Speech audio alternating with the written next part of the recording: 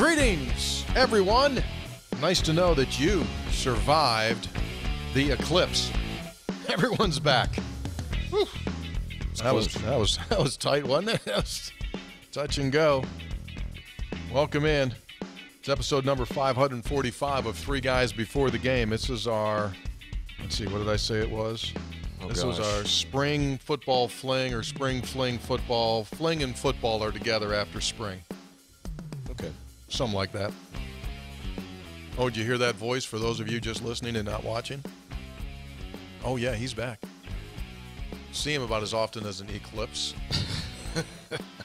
I come to work every eclipse. whether he needs to or not. Yeah. Ready to go. The senator is here. Boy, what a weekend he had. Woo! Oh, we'll Oh, talk yeah. about that. Three guys before the game brought to us by Comax Business Systems, keeping West Virginia's business data safe, secure, and efficient for 25 years. Every piece of business equipment ever made, you name the product, they sell that, but they also offer absolute 24 7 monitoring of your business's network. They can come in, make sure everything is good, keep your data safe. Come and do a free uh, do a free inventory on your networking, and we call it a computer colonoscopy. They'll come in and tell you if your network is safe from people on the attack. Is your data safe? Your client's data safe? Your personal data safe in your business? They got it. Comax Business Systems. And when it comes to those phone systems, Hoppy's got one. Digital. Digital phone system from one line to a thousand lines. They got you covered at Comax. ComaxWV.com. Three guys brought to us by GoMart. Go for good times, go for GoMart. Some incredible savings this month of April when you use your rewards card. We'll talk about that. They've redone the app. I mean, just like you can save tons, get a lot of rewards off of that. Go for good times, go for GoMart, and go get your GoMart rewards card. Three guys also brought to us by Lou Wendell Marine Sales in St. Albans. They sell family fun. After last week's kind of cold-ish weather, I think we're past. I think we're done, Hop. You think so? I think I think we're past that hurdle. Boy, last week was nasty. Yeah, it was. It was. And the guy I knew got sick, real sick last week too. Three guys is brought to us by Lou Wendell. Visit them at louwendellmarinesales.com. You know, you think, Senator, if you take a week's vacation, you're going to want to be at 100% health, bouncy, just jumping around. Some guys don't have that luxury. Some guys remain on their back the entire week that they're gone. I was down. Have any idea where you got it? No. I thought I'd, I was quizzed about that by my spouse. I said, I, I don't know, but I just got, and I don't handle sickness terribly well, frankly. uh, Uh-huh. And, and so I was just down. It was, it was an over the counter med, three nap a day, extended viewing of Ted Lasso sickness. Had you not gone through Lasso in its entirety before, you were doing a rewatch. No, it's his first time. What do you think? I like it a lot. Yeah, it's really yeah, it's, it's got a. You know what it has? It it uh, it's got a sports angle which you enjoy. Got a lot of heart. oh yeah, Got a lot of heart. So It I, I think. enjoy. Yeah, and it's not just it's not just overly sarcastic or cynical. And uh, yeah, we're enjoying it. Yeah. enjoying it a lot. Yeah. That like and the morning show. The morning show. I don't, Jennifer Aniston and about a morning. No. Okay, never mind. don't You've watch seen you've seen the whole last. it. I don't watch TV. Yeah, I watched the Lasso was the only thing I've ever watched in the last thirty years. Reese Witherspoon in the morning show. exactly. Yeah. I haven't seen it, but I know what you're talking about. Yeah, it's Yeah. good. Senator, how are you? Fine. Physically good? Great. Sure. Sure. Great. Nothing good. came out of the weekend. No. You didn't get hurt at camp. Nope. Camp. So you always have bemoaned the fact that a lot of schools missed when you came out from high school. You, Mhm. you attacked Eldon Miller, who not Tom Missed. Davis, Mi- Well, Tom offered. but wasn't a full scholarship, but right. But so the but you did receive a Tom full, Abatemarco, right at Drake. Duane Banks, the Iowa baseball coach, all walk-ons. No one would give me any money. So Neal Brown extended you a full scholarship to fantasy camp this weekend. You Nice. accepted. He didn't miss. Coach Brown on it. Recognized talent. Did you entertain other offers or just took the first offer no, that came dr- from Dream School. There you go. Dream School. Hashtag Dream School. He made the offer. I took it right on the spot on my visit. on your visit. Please, re- please respect my decision. Fill us in. I did have a, in all seriousness, had a great time. So, football, West Virginia football, and the Country Roads Trust hosted their first ever fantasy camp over the weekend. It was really, it was, a, it was a lot of fun. We'll talk about the on-field stuff in a minute, but I thought the the neatest part was not only access to Neal and the assistants and the staff that were around, but they brought back four great former players: Bruce Irvin, Avon Cobourne, Karl Joseph, and David Sills. Wow. And they not only were around and, and we did a question and answer with them, but they uh, they interacted. They were there the whole weekend at, at lunch with us and and moving about. So you really got a chance to to talk to those guys. And that that's for that's for dudes, right? Yeah. Not only great players, every one of them. It was fantastic to to talk to them and interact. So they were great. So I thought that that was probably the highlight for everybody is getting to see getting to see those folks. And and after that, did the did the offer then come after that for you to be Well, on the I was team? already in. Yeah, so it was one of those recruiting visits where I was already committed, but just there to okay. to finalize. Okay. So I was there, but you know, did they gave everybody a tour of the facilities, which are just jaw dropping. I've said this many times. Hop, I, I mean, we've been over in that facilities building how many times over the years? Yeah. Unrecognizable to what you would remember. Yeah. They You'd could drop lost. you at Arkansas, at UCLA, at USC, and you'd recognize it as much as you'd recognize the West Virginia building. Mm.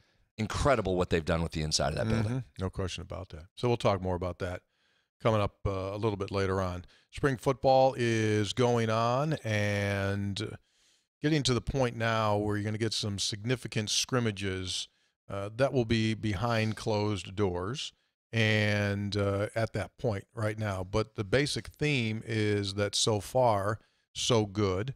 Uh, you talk and you hear from the coaches, and they seem to be content with what they're seeing both on the field and just chemistry, culture are a couple of the words that continue to be kicked around. So that's what it is in spring. That's what you hope for. Uh, no great drama this particular year. You don't have a massive quarterback battle. You don't have a massive running back battle. You know who those dudes are, and you share carries, and we get that.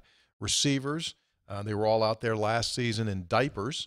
Uh, they might uh, they might elevate to training pants this year, but they had the three babies out there at times last year. Those guys are all growing up, and then the newcomers. So so far so good from football. Time now for Hoppy's obvious observations. H O O, soon to be having a sponsor. It'll have a sponsor here pretty soon.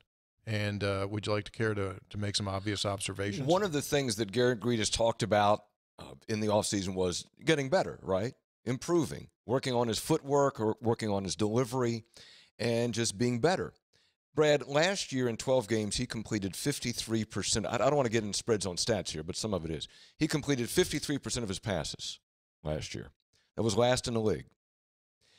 So I looked at the other quarterbacks in the league, and I took out I took out Dillon Gabriel. I took about Quinn. Took out Quinn Ewers. I mean, they completed seventy percent of their passes. That's really, that's that's the aberration. The average was about sixty-two to sixty-four percent completion of everybody else in the league.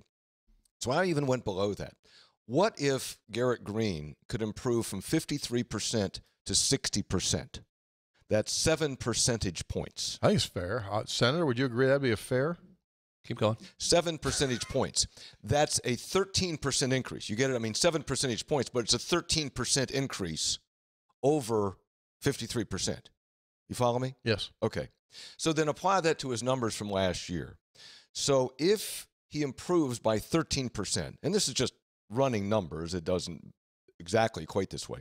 If he had 13% more completions, he'd go from 147 to 166. So that's, you know, plus that's plus 19. Right. That's 19 more completions, you know, roughly roughly two a game. Okay? Maybe they come at critical times, right? Or maybe one game you don't complete as many, maybe another game you complete four more than you do. But maybe some of those are at critical times. So 19 more completions. What if you improve touchdown passes by 13%? That's from 16 to 18. Two more touchdown passes. What about yards per game? If you improve by 13%, you go from 200 to 226 yards. I think that if you improve just 13% and you you can improve on completion percentage, you can im- improve on number of completions, touchdown passes and yards, that to me it, that's another win. Okay, that's another win, or maybe another win or two. That's another couple first downs that you don't otherwise get. And that 53%, that's not all on him because there were drop passes, there were defensive plays, there was pr- pressure, those kinds of things. So other other people get to play too. But if you can improve your output at the quarterback position, which he is striving to do, by 13%, I think you you can equate that to see how that can tran- translate to another win or two this coming season. So I think the biggest thing there is what you just said about the receivers. To me, the more I look at this team, and this is going to be a really fun spring and summer because I started to make some notes here about what to talk about for spring football. You realize how much there is to talk about? This is unbelievable the amount of different things we can get into with some optimism and some hope and some improvement. So, Garrett is about as low on the list as I can get for people that I'm I'm wondering about this spring. Because I'll say it again, he was elite last year. That wasn't just a good season for West Virginia quarterback. It wasn't just a good Big 12 season. That was a national level dude. And if some of those completion numbers go up a little bit, and you keep everything else static, but what do I always say? You can't just assume everything moves forward. But I'm excited to watch what he does after now knowing the offense for a year, after reading defenses for a year. I think there's a chance for him to take a big step forward. But it's the receivers catching the ball and catching balls that aren't exactly on the money that I think is where the difference comes in. Because that's the thing that I think was missing last year. There were there were still drops. There were still balls that were overthrown, yes, but you didn't get to. And here's an example, Tony. You saw it. We were standing right there watching it. That catch Rodney Gallagher made a couple weeks ago in practice, Hoppy, was it would have stacked up as the best catch you saw all of last season. So how many of those are in there? Does that happen a couple times? Does Traylon Ray make some more catches? Does Clement? I think this receiver group has a chance to really take a massive step forward. That might be the part of the offense where we come back during the season or afterwards and go, how about those receivers? Never mind Jaden Bray, who's coming along, the Oklahoma State transfer. I think those young guys, the the Ray Gallagher, who's the third one I'm missing? Uh, Huddy. Clement. Those three are really talented. I think they have a chance to massively jump up, understanding how to run routes, understanding how to set up the defensive back and cut the other way. I think that's what helps Garrett's accuracy, maybe more than anything that he personally does, although he's working like crazy on those passes. I think that receiver room could be really, really fun. When you were out there Saturday watching practice, how'd the balls zip out? Pretty good. Yeah, I mean Garrett's arm is fantastic. I mean it it zips, and those guys are catching it. And I think Nico's arm looks demonstrably stronger. I think he looks excellent as well. That's probably we won't talk about that until the time comes in which Nico has to start a game and then wins and then we'll gush about how great that is. That was a that was a good get for yes. for Neal Brown yeah. to keep a competent backup like that that can step right in and play if and when Garrett goes down. And given Garrett's mm-hmm. style, that's always something you worry about. But I I thought the quarterback room has looked tremendous in the the limited time I've seen them. Mm-hmm.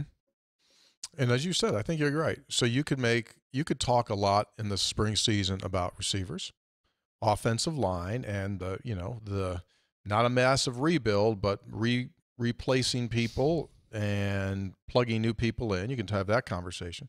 Running backs, super interesting. Like if your big topic is who's your third, that's a, that that means you're in a pretty yeah. good position. Tight ends, and, and Cole Taylor's sitting down this spring, but you've got the development there, and then defense, you could do the whole same same. Well, thing. we're going to spend some time on defense because I got I got ten guys we got to talk about defensively. Excuse me. Stay on the offense for a second because I think offensive line becomes the number one question here because I get the sense that early on we're we're we're too quickly going. Zach Frazier was awesome. Ah, they'll be okay. Zach Frazier was awesome. Capital A, all caps. Well, you, you could make a you could make the case he's the best center ever at West Virginia. So that's and we've had re- some centers. Yes. That's really hard. That's a group we we've talked about this many times. You lead Power Five in rushing five penalties a game, only 46 penalty yards a game. That was about as good of offensive line performance as you can get. They were elite, elite. Never mind Doug Nestor's gone. He's going to get a chance to play in the league too. You can't gloss over the the changes that are coming on that line. So to me the question becomes what's the line look like? Asking it to be the best Power 5 rushing attack in America is probably asking too much. But where does it stack up? Is it still really really good? Is it just good? You've got a bunch of guys that have played but Brandon Yates in a new position. Jaquay, our guy from the last podcast, now starting every game. Nick Malone, who was invaluable. And all three of those guys were very, very good last year. But now you're asking them to play all the snaps. And then beyond that, the next layer, these young guys that we've been hearing about now for a year or two, that there's a lot of potential. There's potential pros. how do they mix in? Is there a drop off when they come in? So the performance of the offensive line is still going to drive this team. Agreed. So I think it's fair to say the offensive line isn't going to be as good as last year's. You have to say that. It would be impossible, Impossible. to get there. I okay. think. So to your point, so then where does it go to? Is it still a top 25 rushing offense in the country? You'd take that today. Or does it significantly fall back? My lean is that it'll be a good quality offensive line. I think so too. And we probably didn't eh, we probably didn't give last year's line enough credit Didn't. while it was happening in front of our eyes. Did not. It was unbelievable the performance they they turned in. But the but so here's the question. Okay, so it comes back a little bit because you lost the best of all time at one of the positions, at the most important position. Okay, fine. But if your passing game then steps forward and you're more dangerous there, you might end up in the same place. You might not have to be the number one rushing team in America to get similar results. That's Yes. what you're trying to juggle there is okay, that's fine. We got other guys now learning new positions. Fine. Guess what? We now have receivers that didn't know exactly what they were doing last year and hadn't even come close to their full potential. Mm-hmm. So I think that's the give and take right there. And then again, Garrett's just going to be an eraser on some mistakes. Mm-hmm. Right? There's Yeah. going to be guys that are blitzing off the corner that you miss your assignment or you miss your block or somebody turns the wrong way. And you, it's the other thing, Hoppy. It's such intricate play. It's amazing there's not more mistakes than what happened. But when mistakes happen, Garrett Greene can erase those just by taking off. So I, I can't wait to watch this offense. I think it's got a chance to be outstanding again. Let's jump over to defense because I think that's the part. If you're really digging down this spring, you can kind of take the offense and set it aside and, and figure it's going to be really good. Right? Second year for a quarterback, all that talent, skill positions, experienced line. You, have, you should have high expectations for that offense. How about defensively? If you talk to those guys, that they're they're excited about some individuals. The Brown Mention Index is starting to, to BMI? rack up some numbers. Let's look at a couple. You want to? Did he take you to a side at all during fantasy camp and give you any like whisper?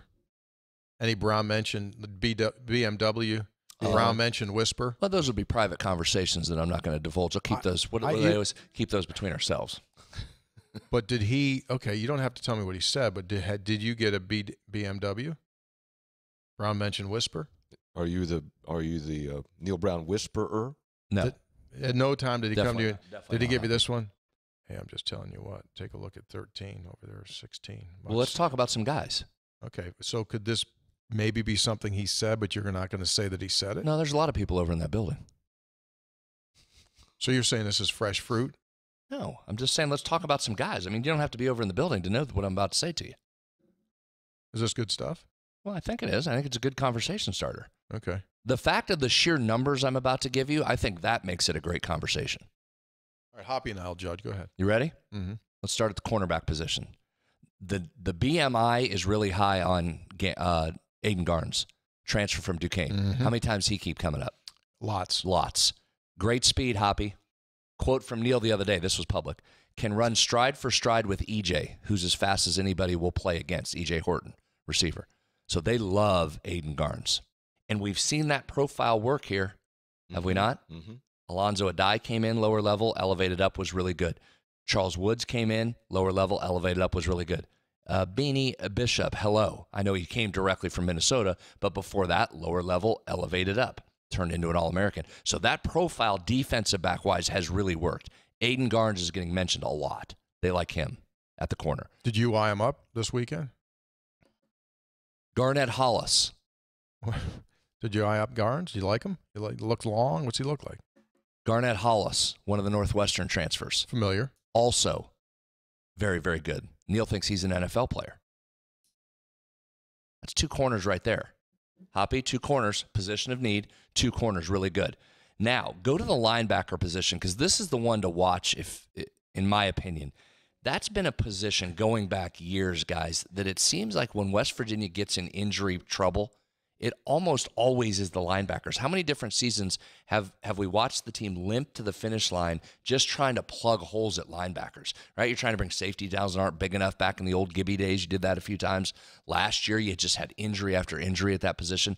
This year, it feels, and again, you don't know what's going to happen on that front, but you've got some dudes. When Trey Lathan returns, right? That was a freshman All American. He was headed for a monster season. Then just look at couple of the guys. Ben Cutter got a ton of experience. Yes, he did. Caden Beiser played a, a big role, so he can mix in there. But then the Josiah Trotter's a guy we probably haven't talked about enough because he got injured last year, of course, early. Uh, he's a dude. he's he's a dude. I think he's going to step right in and make some plays. Well, they penciled him in as a potential starter last year before he got hurt as, a, true freshman, Hoppy. Yeah. He gets it. He's impressing. Yeah. He he's gets it. impressing. Reed Carrico, former four-star recruit that went to Ohio State, that's now coming in. Neal described him as as hungry. You like talented guys that are hungry, right? Which would make sense. A guy that didn't play as much as he wanted at Ohio State is getting a fresh start here for a chance to come in and play. Reed Carrico. So there's some linebackers right there that you you feel like you've got some depth maybe for the first time in I mean I don't know how many years. Yeah. So that's encouraging. All right, now go along the defensive line because pass rushers in particular are in high demand. They have got to find some guys that can pressure the pass rusher. So there's guys that we already know about. Sean Martin. Sean Martin continues. That's not, that's not the first time we've stood next to Sean Martin, Tony. He is a massive individual. Large human. He is. They don't make a lot of humans like him, Hoppy. And he's had a good spring so far through the first couple of weeks. So there's a pass rusher in Sean Martin that hopefully he turns into what everybody foresaw him being when he came out of high school. Bluefield here. But then the two guys to watch are the new guys, and we've talked a lot about them. Ty French, the Gardner Webb transfer, and TJ Jackson, the Troy transfer. Both have really impressed over there and could be difference makers. If they can translate up to this level, Hoppy, and get pressures on the quarterback, and then you've got good defensive backs, and oh, by the way, you have good linebackers, that defense has a chance to really take a step forward this year. And it was really good early last year. Remember, it won West Virginia some games early before that offense figured out what it was doing and got everybody healthy and started to take over down the stretch. I, I'm excited to watch this defense. There's some individuals there that you should uh, really be keeping an eye on. Where where are things with the portal now? Are you going to get portaled at all after spring? Yeah, both ways. There will be guys that will leave. Yes. Because that always happens, right? Because two things: guys are going to see maybe they weren't getting enough snaps in spring; it didn't go exactly like they wanted, and or for some of your good guys, you're going to get teams coming out of the spring that are desperate, that looked at their roster and went, uh, "You know what? We do not have X." So then they're they have already combed rosters, and they're going to start, which is technically illegal, I realize, but there's going to be some contact made with some offers put forth. So yeah, you're going to have to hang on to your portal, but also guess what else happens? You can Other out- guys are going to come out of spring practice at Alabama, at Clemson, Ohio State, and go, you know what, this isn't what I thought it was. It, it, it seems, and again, there's some time to, there's time remaining, but it seems like West Virginia remained remarkably stable in the offseason. It did, but that is the bell curve of the portal after getting absolutely pillaged a couple of years ago and us- losing six defensive starters. Um, you're right. West Virginia has solidified itself. It's fortified itself, uh, much more better position to kind of retain the guys that you want to retain. And obviously, you're always way before the portal ever started. I'm talking forever ago. Guys were going to leave after spring ball when they realized most of the time it was to drop down a division or you know level so that they could play. Um, but so you're always going to have that. But it's the guys that you want to stay that you don't. Obviously, those are the ones you don't want to I lose. mean, but so far, you haven't been like a couple years ago where you just got plucked. No, No, but no. as as I've said many times on that show, some of that plucking was was circumstances that will not repeat themselves. Those were those were those were rare circumstances that that weren't going to be a consistent pattern. It was a it was almost a one off event. You also have heard me say many times the the market's going to level itself out, right? It's going to settle down into a place that you can manage, and then you went out and won and you've and you've got the culture where you want it for right now. So that's easier to retain. And then also, here's what you have too, Hoppy. Let's just be honest about this. You've got some leverage if you're Neal Brown. You got some guys coming in saying, "I you you got to give me more. You got to give me more." And he has the luxury now of saying, "That that's what I have for you. If that's not good, go ahead and test the market." Mm-hmm. And then when you test the market and leave, I'm backfilling with guys that might have been better than what left. Yeah.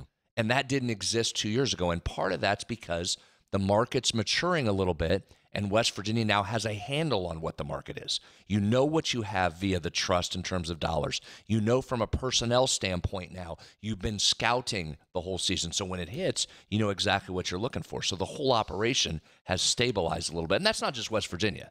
I mean, that specifically is West Virginia, but the whole market's starting to stabilize all over. Mm-hmm. Now people, okay, we got it. What are the rules? Let's play by. I got them. Mm-hmm. I got it. I understand how to do it now. it's just So be- that helps you. Yeah, it's becoming more and more professional. The NCAA uh, has come out now, and again, always a West Virginia connection. Uh, the head of the NCAA Charlie Baker, saying that the NCAA is not going to oppose the basic decision that came out of the federal court in Wheeling during the RaeQuan Battle situation. And it's going to open the door for transfer as much as you want to transfer. About the only thing you can't do now is play at one school one semester and then go to that school and be eligible the second semester. Other than that, you can transfer four times. Wow. That's going to be the rule. Well, so do we do we need any more to underscore how wild this has become?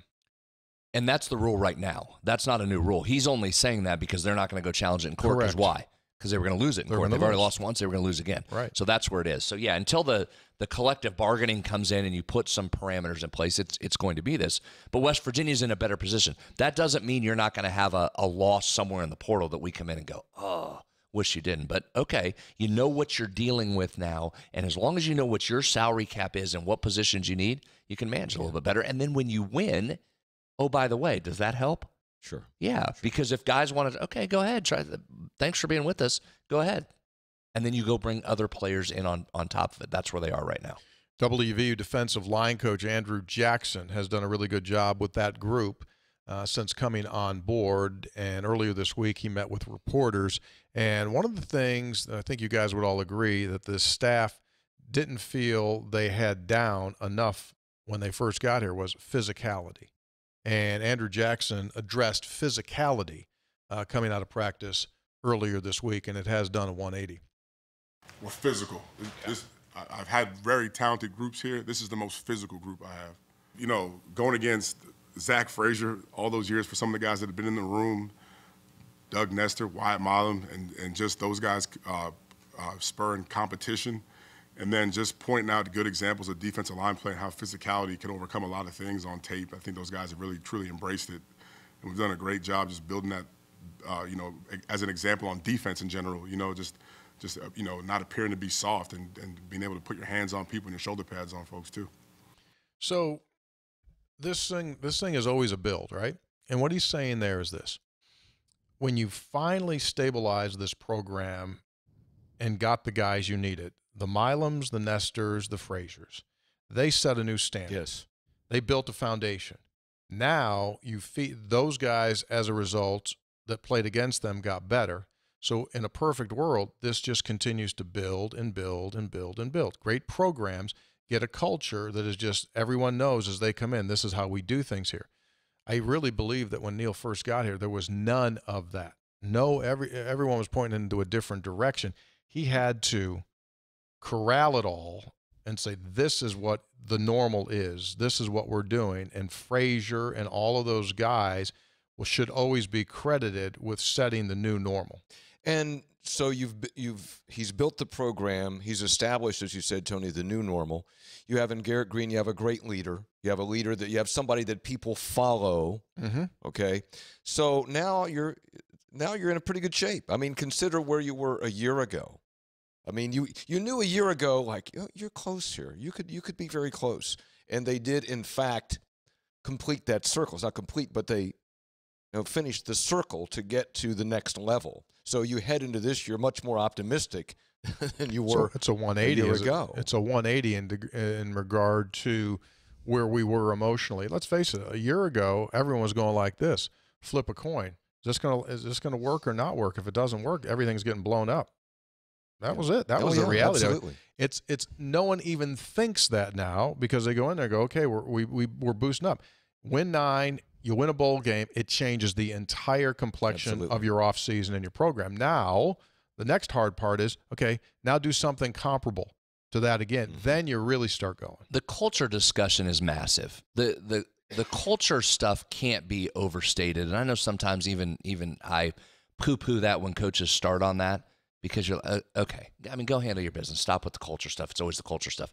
But you re- you really can't win without it, Hoppy. I mean, Tony, you just said it a minute ago. Frazier and those guys should be credited for a long time for that. That's really true. And, and as you watch this younger group of linemen grow up and take the reins here, I think that's what you have to point back to. Zach arrives as a freshman, really talented and very, very good. But who's he looking at in the room? All due respect to everybody that was there.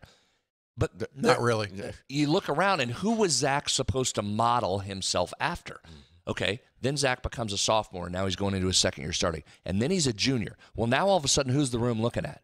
And Zach Frazier's in there working his butt off, handling his business, extra film. Nobody's watched more film than Zach. What did Jaquay Hubbard tell us the other day? Right? All those guys are now elevated up, even if Frazier never said a word. And then you add Nestor into the mix, who's a professional level guy. And then, oh, by the way, here comes Wyatt Milam growing up. So now suddenly that room, and then Rimac mixes in. And then you've got a great dude in Yates, and you've got Jaquay Hubbard. And suddenly that room, that's a pretty damn good room, right? Nester is easy to be around. Frazier, easy to be around. Jaquay Hubbard smiling. Wyatt Milam is a great dude. That that's a good culture based room. And that unit becomes your best unit. Well, what's everybody else on the team now have to do? Hard to be a jackleg when you got that group running things, right? And so the jacklegs now have to be a little bit more quiet and they get a little smaller piece of that locker room and they can't infect the locker room anymore because the best unit is your best guys and they're standing there. Is that right? Is that right? Here's what we're going to do. Come on. Come on with it. And so that's how that culture Yep. starts to flip and that leads directly to wins. It's not just in sports, it's in everyday life, it's in business, Mm-hmm. right? Yes. You get the right people in your business that have the right mindset and it translates to everyone else. Or those that don't buy in, they go away. Want an example? Because if the boss or the coach has to come into that meeting room and you walk into the meeting room and everybody's got their feet up on the desk and they're grab ass and they're jacking around and you've got to straighten them out every single day, guess what? That unit's not going to be Yeah. successful. Well, like coaches will always say, if, if I've got to coach effort, I got no shot. Hmm. I got to coach effort, right? I look at here. Look at this company over the course of 40 years. Dale Miller comes in. You come in. Obsessive compulsive work effort. No, seriously. Obsessive compulsive work ethics. And everyone sees that. Jeff Jenkins comes in. Obsessive compulsive work ethic. It just it trickles down. If you don't, if you don't, if you're not riding that right wave, then you're you're going to go bye bye. And everyone looks at that, and that they know that's the standard. Mm-hmm. But then those people have to individually get on their horse and go. And if they don't, it's not going to work. 100%. It's just not going to work. Exactly. So you exactly can see it, but you better do it and be held accountable to it, or it's not going to matter. But you've got to be driven by people that want to do the work and put the work in. And you know, That's Brad- when your culture starts to flip. And then the other part is that you get a result. Yeah. Okay. So it reinforces Yes. the good culture. So, yeah. yeah. good You're like, point. what am I doing all this stuff? And you know, Frazier's on my. Why am I doing all this? Oh, you're winning. Good point. Oh, okay. Mhm. So the actions produce The fruit. results. Yeah. plant the seeds. You get know, the like fruit. oh, this is how it works. And then that continues the story. Right. Because then as the leader of the coach, you can go in and you say, Hey, hey, freshman lineman, you want me to tell you about Zach Frazier? You want to tell me how that and boom, then that continues the story. Yeah. Three guys before the game. I'm excited. Let's go. When's the first game? Uh, not for a while. Three guys before the game is brought to us by Gomart. All three of us have Gomart rewards cards. And how about this in the month of April? Calling all snack champions, calling all snack champions. Spring into action this spring, and your hunger cravings will be filled with Gomart. Until April 30, you can throw down a chance to win big. Each Slim Jim and C4 Energy purchase will make a powerful punch of rewards. You'll get extra points, score game tokens. You get five tokens, you score a knockout, which gives you 3,000 bonus points. Plus, enter the sweepstakes for a chance to win a $500 Gomart gift card. Now, that'd be kind of neat, wouldn't it? Yeah. Get the full rundown on the Gomart app. Visit gomart.com. It's going for good times. It's go for Gomart. Did you, uh, as a camper, did you pull the traditional uh, football guy uh, as a? Uh, I don't know if you played offense or defense during this camp, but did you look your look down your nose at the special teams performers? No, that was part of the camp. Did you treat them? opportunity- Did you treat them with respect? There was an opportunity to punt and kick for the campers. Was it like What a did punt, you do? pass, and Did you- kick? Yes, it, was, it actually was a punt, pass, and kick competition. What did you do? Did you kick or field? No, you know what I did. So here, so you, are we going into this now? You want to talk about fantasy camp for a minute? I mean, I guess you want to hold. Or what do you got? No, I think we get into it. But here, here's the Hoppy. You'll appreciate this. Yes. Is there comes a point in your life, A seminal moment? seminal moment, when the competitiveness that you either once had or still I know have where you're going. has to take a back seat Hmm. to what age should bring you, which is wisdom Right. and understanding Yes. and being self actualized enough Or soft. that I don't need to run out there and try and run a sub nine flat 40 with the potential risk of an injury that causes weeks of inconvenience. so you didn't do the 40? So the first event up, Ryan Nehlen was the one that did the on-field stuff. He ran the on-field stuff, did a tremendous job. You got, you got a little coaching in him. Good, Well, DNA, good DNA yeah. for Ryan. His granddad used to coach over here at the college. Heard of him. Does a great job. So Ryan's out there. He's getting everybody going. And first up was the 40-yard dash hop. Okay. Now remember, I'm the same guy that pulled a hammy last year pitching batting practice and softball. Like I know my limitations now. I'm well past my prime. Okay. So the 40 yard dash is up first. So Ryan says, Brett, come on, you're up. I said, I'm absolutely not up. I'll do respect, Ryan, I will not be running. I give go? a lot of credit to my guy, CJ Donaldson, who's standing right next to me. Yeah. CJ says in my ear, tell him you're deferring to the second half. Just defer it to the second half. It's not a coin flip. it was. I said, I'm out, not doing What it. about Bruce Irvin? What did he say? Uh, Bruce was chirping. Bruce is still competitive. I got a good Bruce Irvin story. He he'll hit you right in the face. Well, yeah. Still competitive. So that's what I'm saying. You've got to work through. There's there's a lot of people out there that there's some encouragement to do all of the things. Did some of the campers run? well, uh, some of them did. Did anyone get hurt? Yeah, my guy Charlie. Might have had a groin issue. Third runner out of the gate. Might have had a groin issue. He's a tough SOB though. He did every drill from there on out with a pulled groin. With a po- well, football player. Gamer. Yeah. I did so you didn't. things. Did you throw? I threw. Threw. How'd you do? Eh, okay, didn't hit the net. Right on target, just left it short. Oh, this is not distance. This is hit the net. we net. were working on the net in the corner, like the fade. Oh, the yeah. fade. Oh, the the fade. ill-fated fade. See why I hate fade? Get out there, try and throw the fade. Can't throw the fade. Leave it short. Did did run a pass pattern. Ran a fade. I'm probably not the ideal guy for the fade. Austin, you got that picture there? I'll show you the effort I gave. Gave great effort. Oh, Gave great effort. Who threw it? That looks like that ball was. Was throwing to me. Okay. That Jaheim, look, looks like it looks like it was too far ahead. well, Jaheim overestimated my speed. I wasn't. I was a lot slower than what I think he Where's thought. the? I tell you, I give you credit because obviously you put a move on the defender. oh, I'm wide open. There's no defender there. Well, there- there we're wasn't going a defender. air. It was we were going against against air. See, Ryan Nehlen in the back thinks I have it. He's got it. So Jaheim can throw the ball well. He like, he got a little. Here's the thing. Like Nico's a very capable backup. I think you got to put a little halfback pass in there for Jaheim White. He can throw it. yeah. I might put a little tackle pass in there for Wyatt Milam. M- Milam might well, have the best arm on the great team. high school Could have been a major league baseball player. Sure. Do you know that? Wyatt No. Milam could have been a major league baseball I player. I remember him when he was young. Absolutely. I mean, I'm being serious. So you want to? He was elite as a freshman in high school. He was throwing what as a freshman in the He, what? he got, I think it was into his sophomore year. He got it up, he told me, in 91, 92 as a six-six lefty with perfect form. I mean, seriously, he would have been. Now, he's going to make a ton of money as an NFL player. He, he absolutely could have been a, a Major League Baseball player. I mean, he was elite, elite. So you don't see many tackles that can take the ball and say, Where's the net? Okay, I got it. I'm just going to drop it in there. He was very good. You think Neal might put a little something in there for him? I don't know how you get the tackle to throw the ball, but I might Well, line, him up, as line him up, as in a a tight fullback end. position or line tight him end. as a tight end. Run him in. I want him throwing it, not catching it. I understand. He can throw it. yeah, but he can line up as a tight end. Don't he get. can kinda come He can't. Don't get too clever by half now. Like I oh, we have the tackle pass it and fool everybody. I'd let him pay. If he wants to just stop back and shotgun and take the snap, he can do it. He could and just like fake the pass and run it. No, Big just guy. throw it. He's got a great arm. Okay. So that's the other part of, uh, in all seriousness, about the camp. And I'll give you a couple more things here. But the culture, the guys that were out there that were that were working with the trust, that were the current players. I mean, you're talking about Milam and Garrett and Trotter and Clement and Jaheim White and CJ and Sean Martin. I mean, all the guys that, that we just talked about that are going to play, and they're out there interacting and great dudes and talking to you. I mean, he's he's got a nice culture built right now. So you didn't complete the pass. You didn't do the 40. You didn't catch the fade. Right. Let's go to the highlights. Go to the highlights. Well, I don't know if there were a lot of highlights on the field. I declined to catch the punt.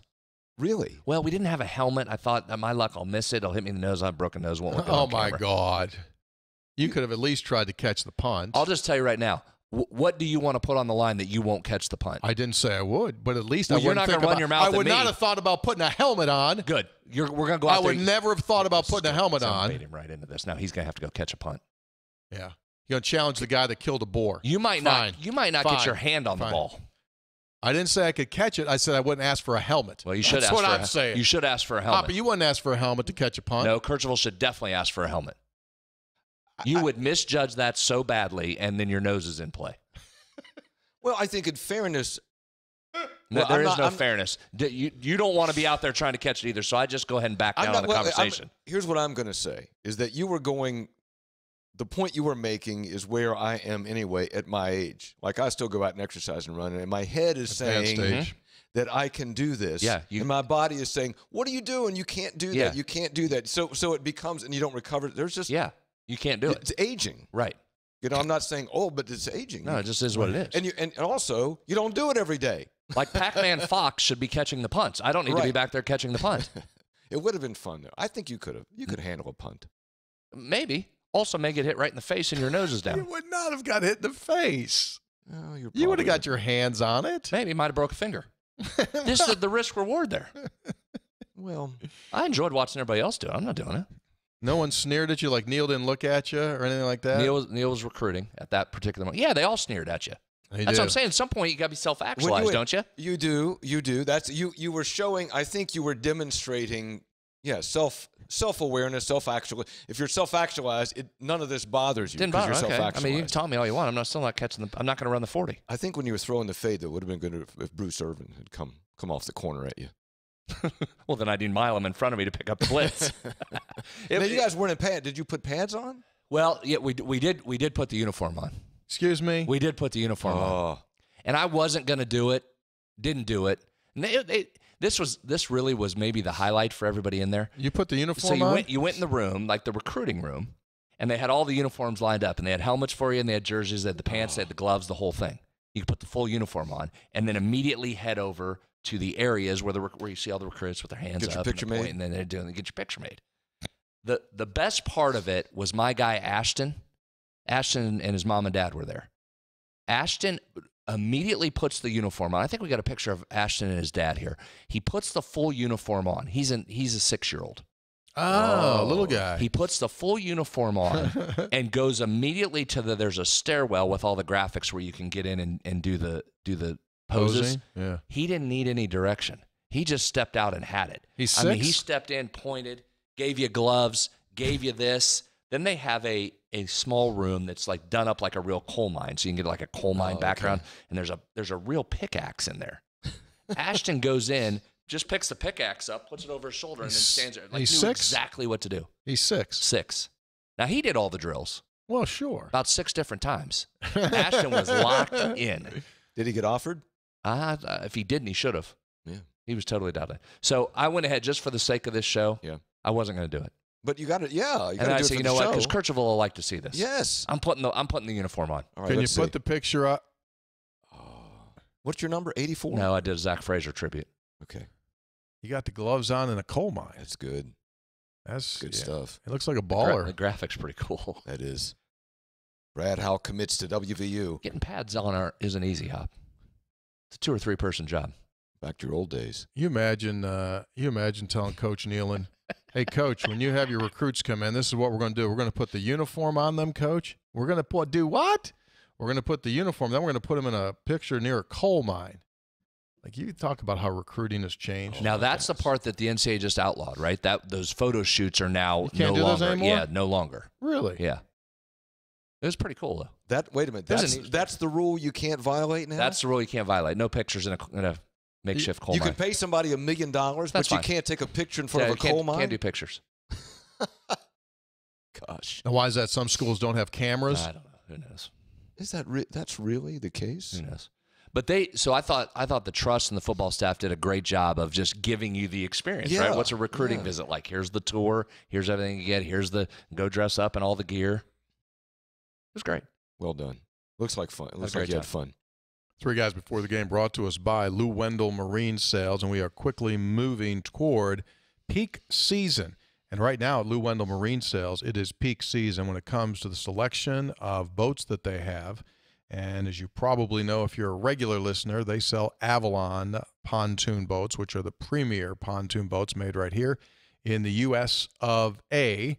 And when it comes to all of the accessories that go along with being in the boat world, they've got them all. And again, the selection is the best of the season right now. So you say to yourself, well, hey, TC, what kind of stuff we talking about when what are you talking about? hoppy? Talking about anchors, boat fenders, anchor line, fender line, dock line, trailer tires, cleaning products, paddles, Fish finder. oars, oars locks. Yeah, that three guy special has a fish finder ready to go in it. So we strongly encourage you to check it out. It's a three guys special right now at LouWendellMarineSales.com. That's LouWendellMarineSales.com. Take a look at the 2023 Avalon Tri-Toon Venture 85 with 115 horsepower Honda motor. It is a delight. LouWendellMarineSales.com. One more from fantasy camp. We we talk a lot up here, guys, about do you like it, do you love it, or do you live it? Yeah. I'll give you a live it real quick. Bruce Irvin. Sure. So he's played what 11, 12 seasons now 12. in the NFL. And by the way, could walk right now into training camp and be ready to go. Plans on Totally doing ready to go. Plans on doing that. I chatted with him Friday. Doesn't want to do training camp. Wants to play a full season. Said no training camp. Said he wants out of that. If somebody will call him after training camp, get in. He'll play the full season. But he wants to play in September. He does. Yeah. But not in August.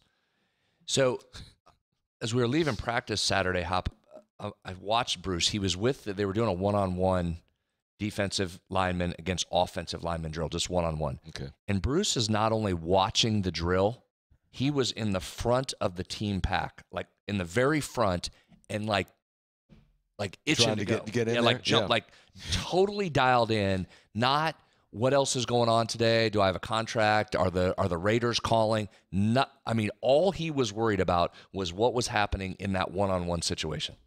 He was totally like talk about a football guy, Tony. He was a football guy. Just sitting there on a practice in April, rain coming down, and wanting to watch two college freshmen go at each other, and he was like jonesing to get in. I'm in. That's a that's living it. Yeah. That's not even loving it. That's living the thing. Mhm. Pretty remarkable. Guy's played in the league twelve years. That's He doesn't have to do anything if he doesn't want. that's to play that long in the league at that position. You kidding me? And then be still ready to go sitting there in April watching Yeah. it. I was I was just I was blown away by the engagement of of him. I don't think. By the way, Karl Joseph, I was just gonna. I don't think you've Oh. spoken enough about the silent assassin, He Karl was- Joseph. He was awesome. All those guys were great. David Sills just tremendous. Avon's perspective was really fun because it, Avon hadn't played here in 20 years, believe it or not. 20 He's years. 43, Hoppy. So you- Avon Cobourne's 43 years old. And he was. Is he still the leading rusher Yeah. all Mhm. Yeah. time? Yes. So you talk about the changes that have taken place over there. It was fun to watch with Avon and talk to Avon because he was more like like me, right? Old guy, like, oh my gosh.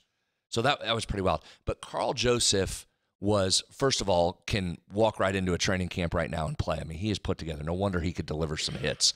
But couldn't have been more eloquent in his speaking. Could gave great stories and insight, not just to the fantasy campers, but then he spoke to the team on Saturday morning and was just excellent with those guys, as all four of those pros were. I just thought, as neat of an experience as it was for the fantasy campers, and it would, in my opinion, Hop, worth it just for that part of it. To be around the current and former players and Neal and the staff is is well worth the experience for somebody.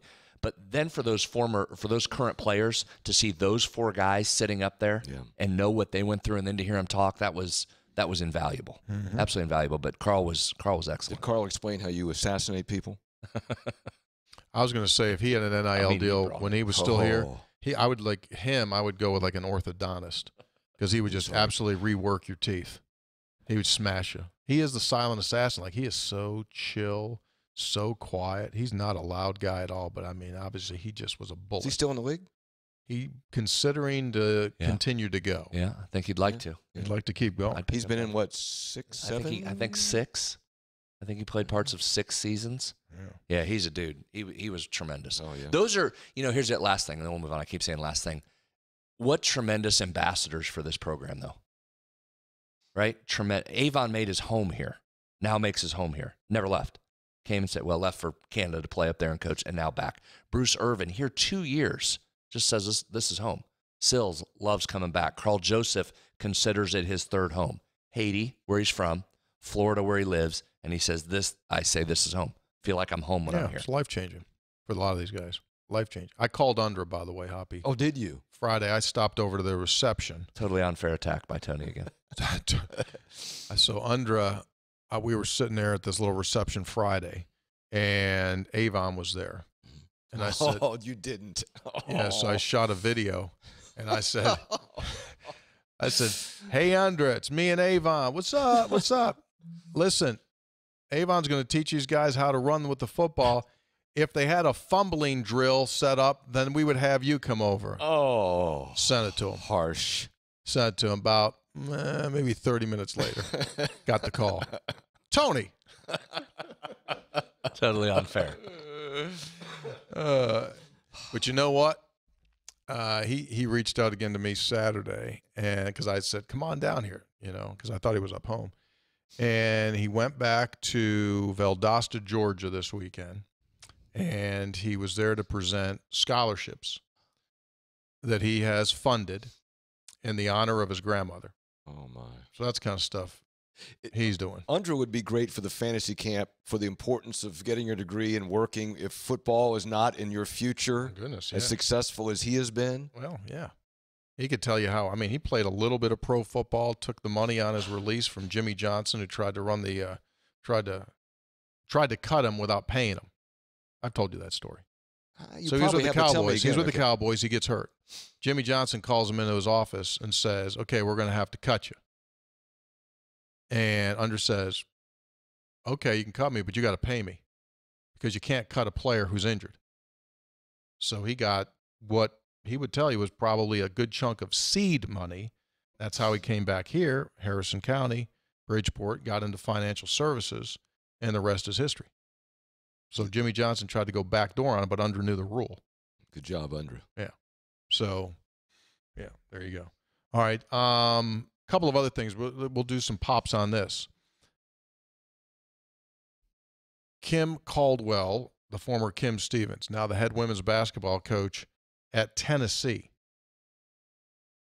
Put that into perspective. Senator, A remarkable meteoric rise, not too unlike Joe Mazzulla's. fair. Now, Yeah. Joe ends up at one of the most storied professional franchises in all of sports. Kim ends up at one of the, the top couple of women's basketball brands, where 13 months ago she was in Glenville working with that, winning natties. It's, it's a remarkable ascension to go. What she did at Glenville, just tremendous success. We've documented that. To go to Marshall this past season, have an historic season for the herd, and then one year of that and you're on to Tennessee, not just a power five or a big job, to the Tennessee women's basketball program. Just a remarkable rocket ship that she has been on over the last couple of years. I'm, I'm thrilled for her. She's tremendous. I think she's a wonderful coach, and this is a great opportunity with massive shoes and expectations. This is a really hard program to manage, but I can't wait to watch her in this in this yeah, league.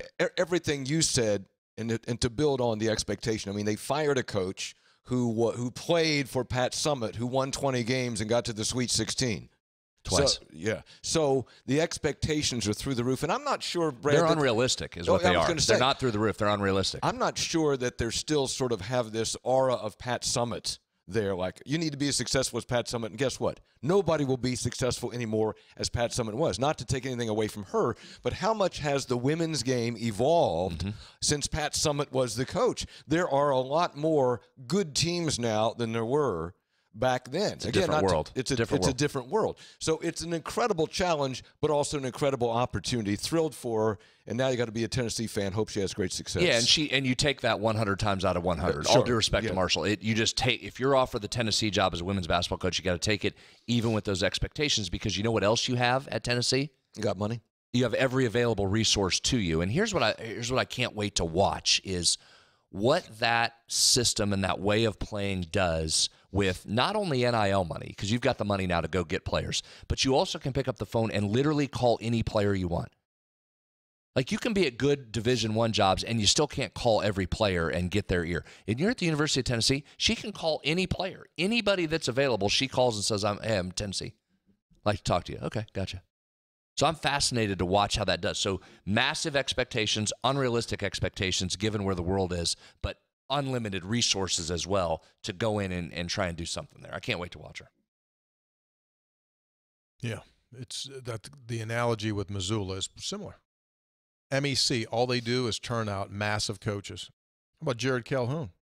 He left the MEC, left Fairmont State. Now he's a head coach at Utah State. If you want to get to the highest level of sports, you just go through the MEC. Don't forget Haywood Highsmith, Wheeling Jesuit at the time, former MEC basketball player of the year, been in the NBA, played in the NBA Finals. Yeah. Just go to the MEC. MEC is where it starts. Yeah. Where futures are starting. Sure. It's the it's the current day version of the MAC for football Well, commissioner, or Iowa in commi- football. the commissioner of that league, Reid Amos, he'll probably build on that, won't he? He should. He will. They should do a little. Yeah. They should do a little institutional ads on that and say, here, here's where our people go. It You want to was, get to um, the top? Start here. It was uh, it was interesting too. Lots of times, Brad, you come from this side. When coaches leave, the, the university doesn't say anything, right? They don't put out a release. Marshall did. Congratulations. She had great success here. Wish her all the best. Quotes from the AD, quotes from the president of the university. And that I think that helps your coaching hire. You go out and you're looking for somebody, go, I'm sorry we lost our coach. She went to Tennessee. That helps you. Yeah, I, I think it does too. I think that's a smart branding move to go ahead and try Yeah. and hook onto that and ride it and say to the next coach. Because here's the reality situation, guys. We've talked about this a million times. You, your coaches just aren't staying 10 and 15, 20 years anymore. Now, one, as, as we've seen, that's Marshall's got to be bummed out by that. I get that. But for the next, okay, go get the next coach then. Go hire another good coach. And also, they're taking over a program that just won 20 plus games and went to the NCAA tournament. So you're not taking over a dumpster fire.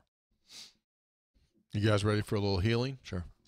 Hoppy, you ready for a little Sure, healing? I mean, after sure. the after the week that you had last week, you probably need a little. Yeah. Probably need a little healing, don't you?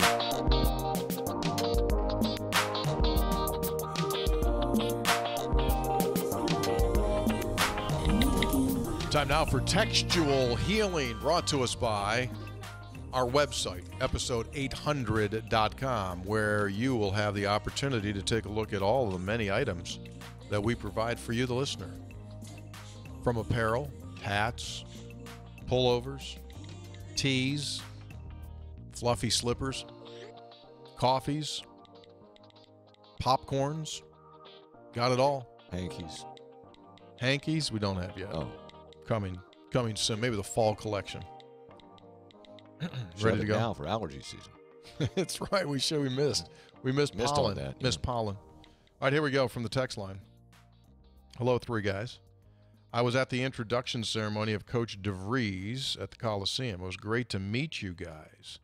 I wanted you two to know that I was the one who texted you a few months ago about my brother Terry Voigthofer, who was the captain of the 1971 Mountaineer football team. Here you go, Senator. Yeah, at the Oh, yeah. Yeah, Yep. you remember him? Very nice. uh, he was the guy that sent us the video where the team entered Old Mountaineer Field and then beat the living snot out of each other Oh, in the yeah. pregame. Yeah. I was nine years old at the time, and I remember that vividly. My passion for college football has followed through. I've now attended games in 63 of 131 current Division One stadiums. My Wow. goal before I die is to attend a game at all 131. Wow. My last comment is I wish I would have showed you the hankies which I had in my pockets that day. Both of them clean. One in my right pocket, look up. One in my right pocket was white, see the picture. The left pocket red. Hmm.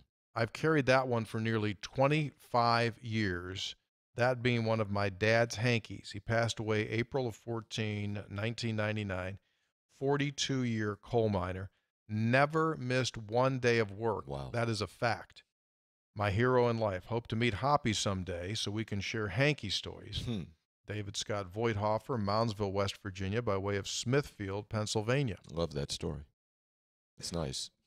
Got that constant reminder of his dad. Yeah. Well done. Stunning announcement there, though, that uh, he would like to meet you someday. Once again, proving that you are oftentimes distant from the people who love you. The event was at 11 a.m. Eastern. And Lord knows you never miss your show. fair, Lord knows, Lord knows that. fair retort on your mm-hmm. part. Greetings, gentlemen. Just finished listening to the Jaquay interview.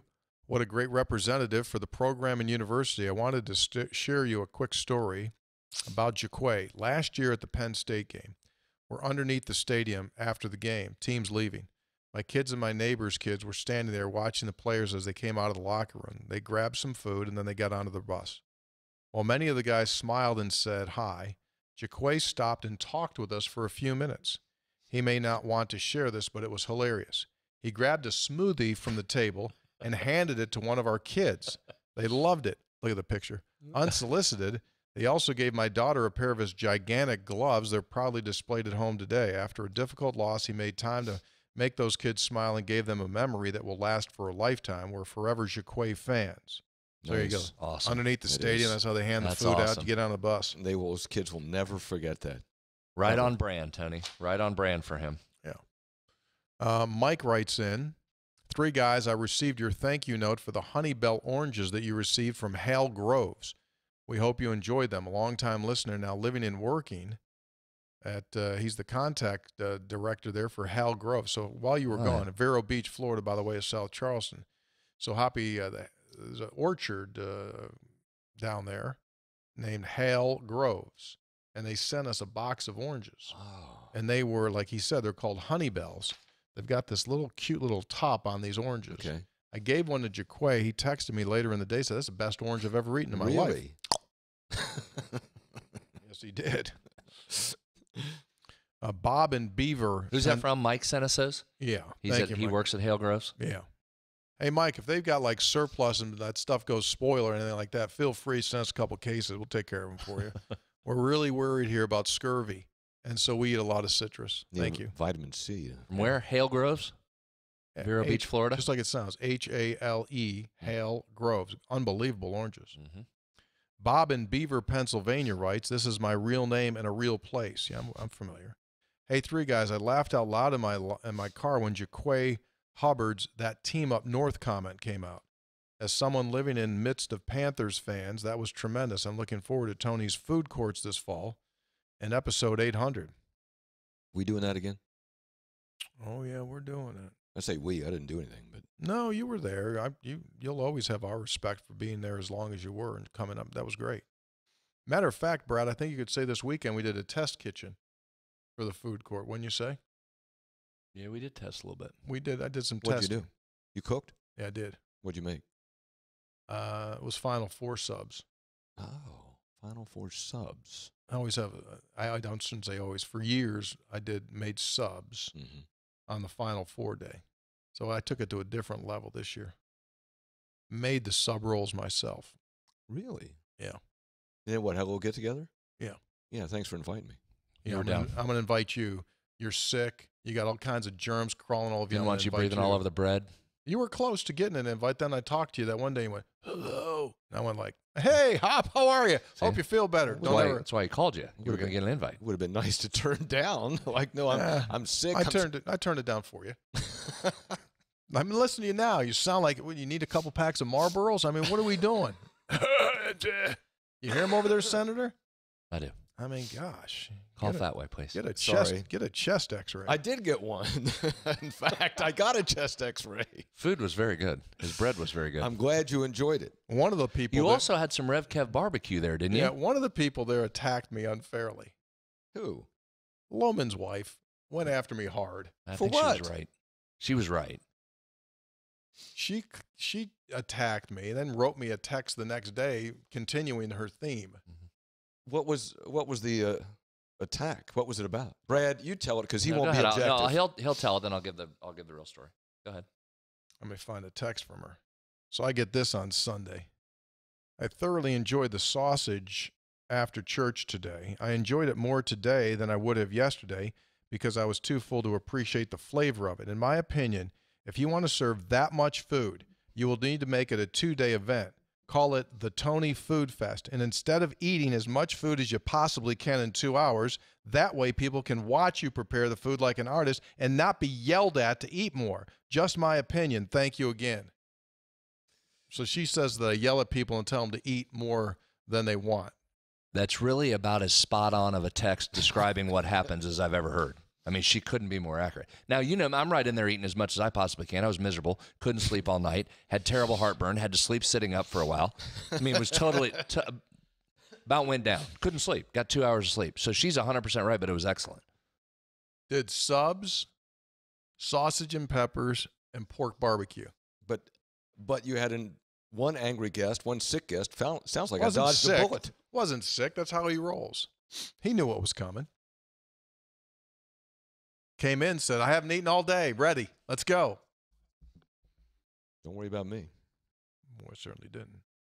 Yeah, You couldn't answer the call. you couldn't answer. Oh, old Iron Lung Hoppy. Texter, I was, hi. out, I was out of town. I wore my efforting shirt to the Savannah Bananas baseball game yesterday. Unfortunately, it was hidden under a sweater because it's so cold. I love the interview with Jaquay. Please make that, please effort the making of a I never minded it shirt.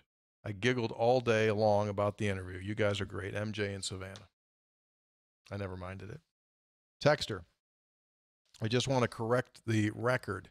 Sport management is in the College of Applied Human Sciences, not the business college.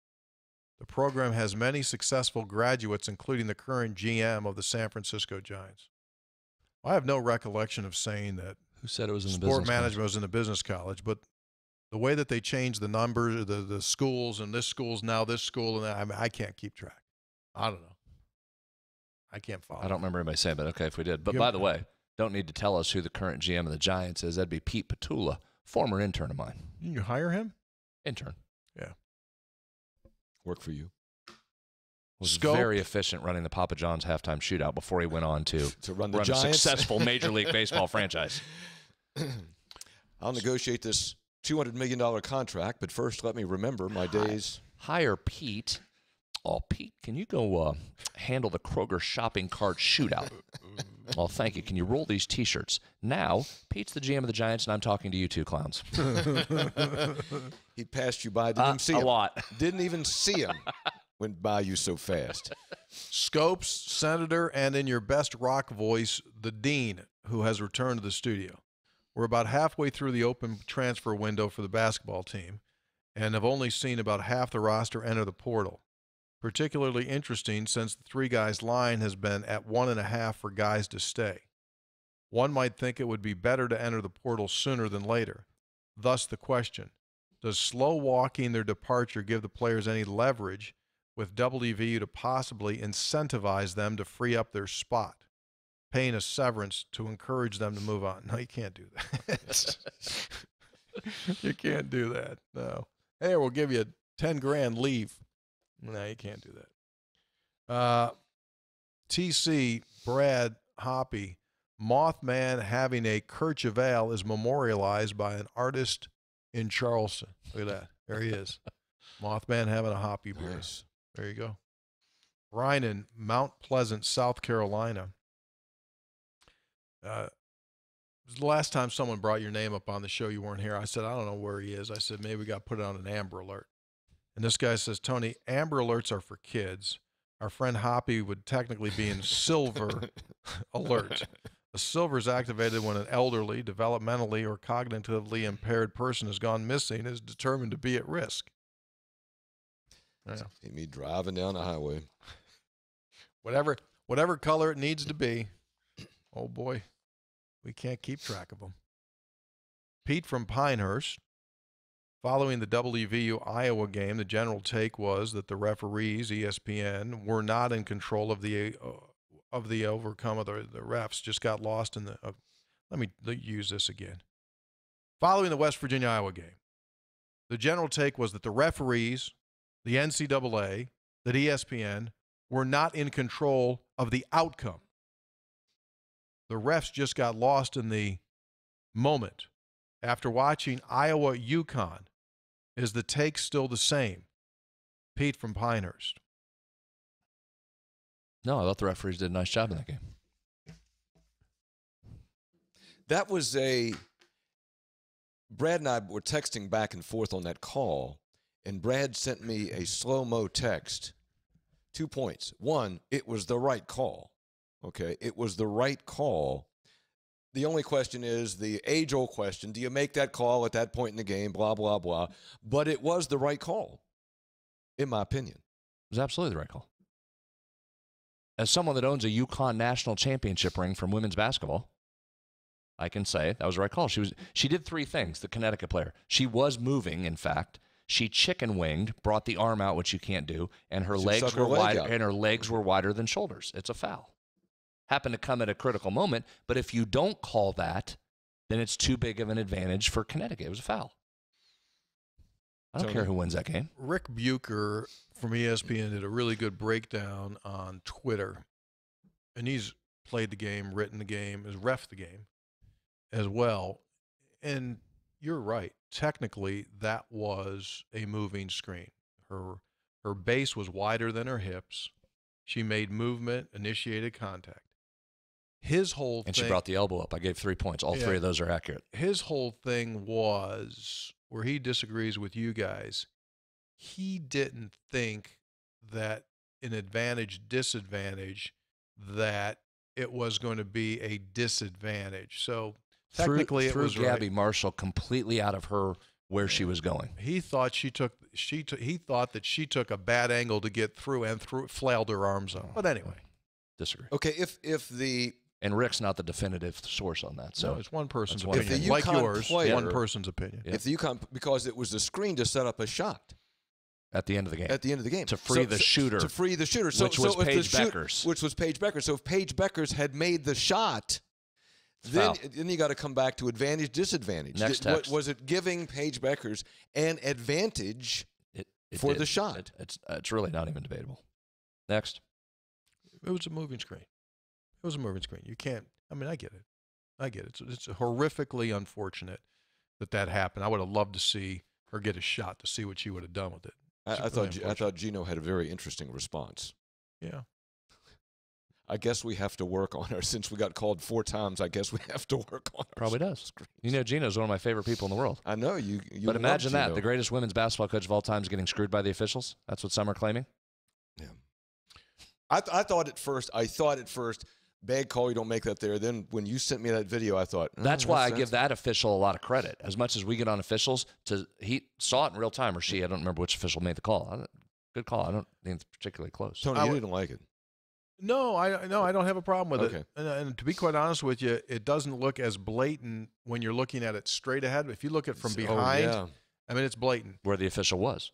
But let me just say this about this, Pete Okay. from Pinehurst, which is not your name.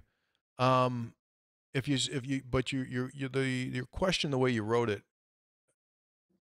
I think you're in you're you're implying that we I said I don't think that the fix was in. I think if you're implying at all that that was a call that they made just to get Iowa in there, I still you you No. would go for no. ten thousand years. I'm not buying that. Because again, you were in essence then the conspiracy was against the greatest women's basketball coach of all time. That's who's not getting calls because of an agenda. You're not going to on. you're not going to change. Anyway, here we go. Tony, I know that long texts are a no-no, but I felt a need to send it in as an example of what the Mountaineers mean to people from this state. It's just one example from many that others could share. My dad was a retired coal miner of 32 years, and when I was just a young boy in the mid 70s, he'd wake me up at 3 a.m. And on the rare Saturday that he was not working, we'd head to Monroe County to go squirrel hunting. He had an old silver transistor radio that he would wrap with flannel cut from an old jacket for camouflage that he would find an old oak tree. I would sit on one side and he would sit on the other with the radio between us to listen to the game while we waited for the occasional squirrel to show. The crispness and smell of fall, with all the colors, always reminds me of those wonderful times. He instilled in me that flying WV is bigger than all of us and means so much more to such a small state. He lost his battle with cancer during halftime of the Alabama game in 2014 in a hospital bed in Beckley. We were down 20 to 17, but he still had enough in him to tell me, got him right where we want him. He never predicted a losing season ever. This is the type of story I wish all new coaches here could hear. Keith from Coal City. That's a great one. Yeah. That's an all-time great one. That's and I think that's there are a lot of stories like that. You know I'm and that- I'm gonna, I'm gonna, I'm gonna save that one. I'm gonna bring that over to that new basketball coach. Oh, We'll take that over That's to a him. good and just idea. Because I don't, uh, I think those help. Texter, so I'm headed to Phoenix for a vacation, going through Cleveland. We didn't think about it at the time, but the flight's totally booked with people going to the Final Four. NC State, Purdue fans. I strike up a conversation with an NC State fan, and he tells me I'm a West Virginia fan. He says, My dad's a huge West Virginia fan. he'd be talking your ear off about right now. His dad grew up in Charleston on Bigley Avenue, Of course he did. about 15 minutes from me. Always a connection. Texter Sean from Raleigh. Whew. I'm kind of glad that women's basketball season is over. All the controversy, pettiness, flat out idiocy. It was exhausting over the weekend, and it left me with a raging case of the red ass. I feel like I heard something. Don't you all have something on episode800.com for that? It sure would come in handy. I love me some low hanging fruit. Have a great week. Yeah, we were talking about that. I thought it was a great couple weeks for women's basketball. Well, I, I enjoyed it thoroughly. was I a mean, lot except of- for the West Virginia loss. there's I a lot of there was a lot of stuff back and forth, and it was you know speaking of Connecticut, your girl Taurasi, Senator, Mm-hmm. you know downplaying Caitlin Clark. A lot of shade, a lot of shade being thrown all over the place. Hop on this stuff. Welcome to the world today. yeah, stunning. Everybody just wants to complain about everything. Texter, It was a remarkable few weeks for women's basketball. Remarkable. No, And- I mean, And what Coach, historic few weeks. and what Coach Staley said about Caitlin Clark Mhm. right after they won the national championship. Yeah, that was that was top shelf stuff there. Yeah. Yep. I do think that uh, the question now is how, how well does Caitlin Clark, the popularity, translate into, into the pros? I mean, it, clearly it'll have an impact. There's no question about that. But attendance at the WNBA started out in 1996, 1998, something like that, at about 10,000 and has been steadily declining, slowly but steadily declining. Took a big dip during COVID. Now it's back up. Last year it was like 6,600. Mm-hmm. Okay, so I mean, it's it's going to be a bump, but I think it's difficult to translate because at at Iowa, at a college, a major university, you have a built-in. That's built in. I mean, there are decades of people who are fans of that university who then, when there's a reason given, want to come back and be part of the experience. I'm just not sure you have that same level of commitment at the WNBA. Yeah, I disagree. I think I think it pops, and here's why. Okay. Because it's built around the NBA model where stars matter, and you go to watch stars. Doesn't matter where you are. The Phoenix Mercury also disagree with you. They have already put out uh, graphics and social media flyers to sell tickets to Taurasi's Phoenix Mercury team against an unnamed, unspecified individual for the Indiana Fever. Yeah. They have like a silhouette with the number 22 in Oh, there. wow. They're already selling tickets. She hasn't been drafted by the Fever yet. And the Phoenix Mercury are, are capitalizing on that. I think you're going to, as this show becomes national and it's immediate, that's the other thing. I mean, she's going to be tired, right? How exhausted must she be? That draft's next week.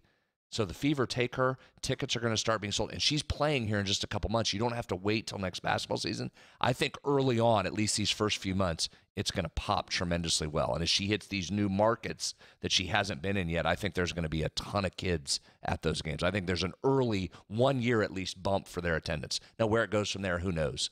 But this is a this is a massive story. I think it's going to draw early. I, I think it's I think it's a good point about it is a continuation because Yeah. there's no lag. Yep. But does it have the long term staying power? we'll see. Yeah. That's hard for anything to have long term staying power. yeah, but because the, because again the WNBA is kind of you know the, the attendance has leveled off. But they need they need stars. Yeah, they do They need need stars. stars, And- and there's well, been great the- players that have come in, but they haven't captured the the attention like the Caitlin Clark has. And then can you keep that riding, which then showcases some of the other stars Exactly. in WNBA? Yeah, that's that's true. And what you got in this tournament was you got other stars that were highlighted because people were watching more. More people were watching the games. Correct. So, yeah, Angel Reese, Angel- our, yeah. a name that's already known, is elevated up. Juju Watkins at USC. Right. Paige Bueckers that elevates up. So you know those names, but Caitlin Clark brought you to the TV set. Exactly. Later today, we'll find out if the women's championship game outdrew the men. Could well, be. it Could for, happen. for those of us who couldn't stay up till midnight. Yeah. Hey, three guys. I had What? the pleasure. Late. Yeah. I had the pleasure to be a part of Family Day with the WVU football team at Milan Puskar Stadium this past Saturday.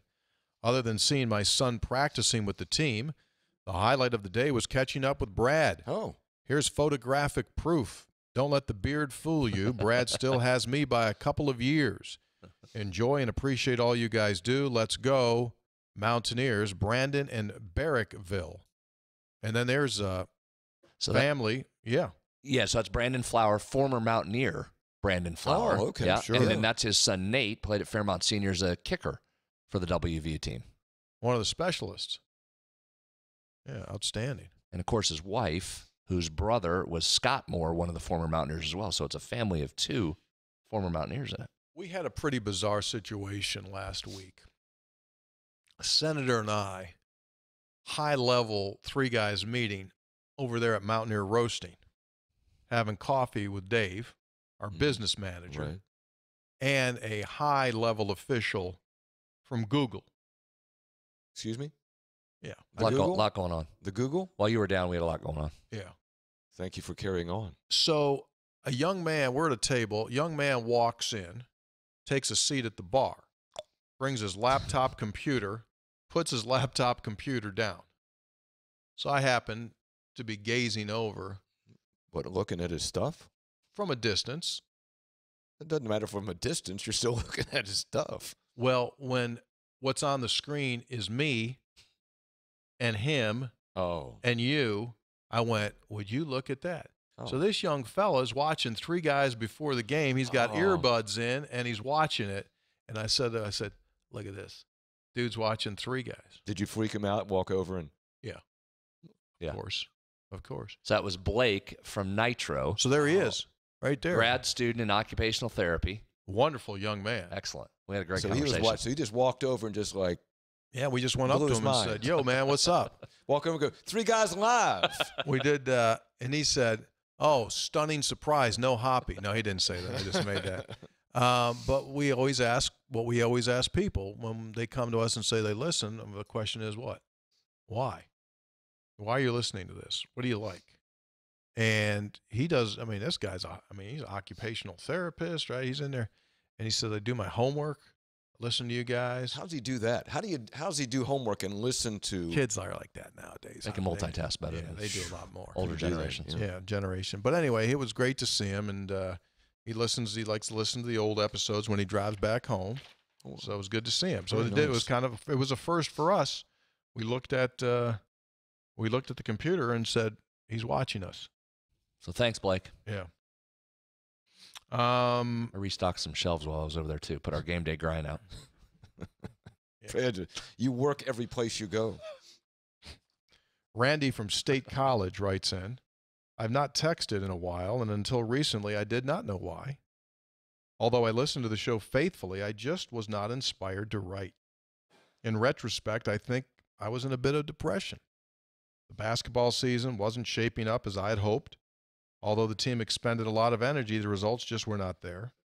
I couldn't help myself to think about what Bob Huggins would have done with that team. Wishful thinking, I know, but it was hard to watch. I'm guessing a lot of Mountaineer Nation felt the same. Fast forward. Last several podcasts have been great. You've lifted me from the doldrums. Football and basketball, men and women, are all pointed up. I'm excited for the possibilities.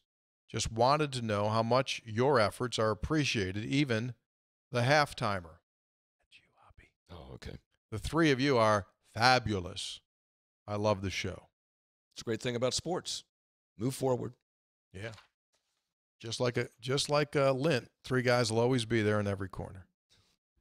Texter, does it seem Coach DeVries will continue the tradition of letting alumni players headquarter their off-season training out of the university facilities? I think it's probably a TBA. That's probably a TBA. Obviously, you got to let the when you got a new homeowner, Yeah. you got to let the new homeowner go in there and set up his house. Yeah. So That'd be surprising if they didn't, though. That's a Eh, that's a overtime. bonus to have those guys around. yeah, over time, over time, I think so.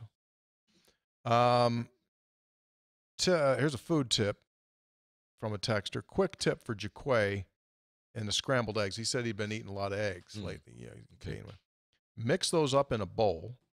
Pop those in the microwave for a couple of minutes or so. Says they come out nice and fluffy and doesn't stick to the bowl like it does the pan. So there you go. It, Jaquay was doing hard boiled eggs though, not scrambled. Same thing. So it's hard boiled. Eggs and You eggs. can't- The discussion. I told you about that. When I tried to do hard boiled eggs. What eggs, happened? What happened? I time? blew the microwave open. Lucky I survived. it exploded. Wait a second. You say you don't mean the door actually opened. Oh yeah. Because you thought you could hard boil them by putting them in the microwave. I did. I, I did. And the door blowed up. Oh my gosh. That's a stunning yak by you. It- How did you? major, major. I mean, a mistake. guy. That doesn't seem. That's out of character. What? What I was mean, I going was, on? what was it, this I was. mean, that sounds like a scene from Dumb and Dumber. it was. A, f- I told you that. I Way to told you go, that story. Beavis. No, I had him. and I was in the kitchen, and I thought, oh, you can probably do this. I didn't even. I don't know. And it was happening, and I was away from the microwave, like the mic, and that thing shot open, bam, and just shot eggs like across the kitchen, right against the refrigerator. Everything. If I'd if I'd have been in front of it, I'd been seriously hurt. it took an hour to clean that up. Yeah, what a mess. No, that's you know some. Come into work. That's way out of character. Come into work. You think? Yeah. Karen wasn't around to check that with, Uh, she was around, but she was just like not paying attention. and you didn't ask. You were unsure. I, that's see. I thought you would have asked. yeah. Karen, can I hard boil these in the microwave? And you would have got an emphatic no. Major fail. Major, Major fail. on Come into part. work. Uh, did you hear the word? No. What happened? Uh, we lost Hoppy. Excuse me. First of all, got hit in the back of the head with an egg. Hoppy's gone. Well, what what happened? A car accident or anything like that? No, I got killed by an egg. Hard boiled egg took him down. Hit him right in the chest. Blew the, do- the Tried the microwave best Well, thing. not could- a hard boiled egg because it couldn't get hard boiled in the microwave. Tried the best they could to get that heart started again, but it hit him right. Boom. He's gone. Good thing you weren't here when we were talking to Jaquay about that. Yeah, really. Mr. Quay's got it figured out. He knows how to do it. He's got it. Cold water bath. Mountaineer Keeps the ship. player, Mrs. Spring drills, egg egg injury. What's it? DNP EGG.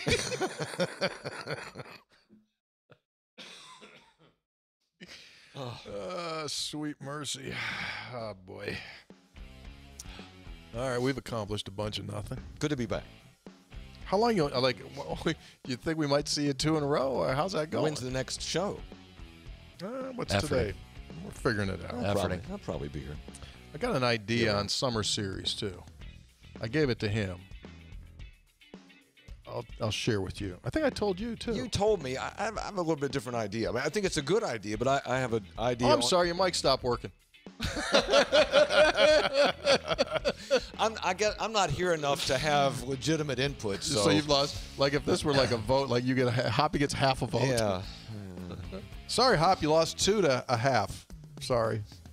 Thanks to our producer, Austin Wright. Three guys before the game brought to us by Comax Business Systems, keeping West Virginia's business data safe, secure, and efficient for 25 years. They're absolutely fabulous. If you're in the business world and you need business gear, phone lines, digital phone systems, they have all of that reasonably priced. They'll come in and do a free quote. ComaxWV.com. By Gomart, get all those rewards points. Get your Gomart rewards card at gomart.com. Download the app. That's the best way to do it. And you can ring up some savings.